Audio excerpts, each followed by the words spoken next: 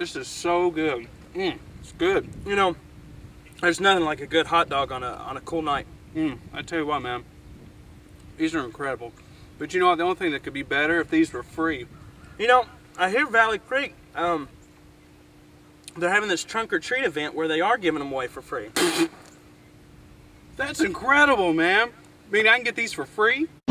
Trunk or treats got them. Others don't.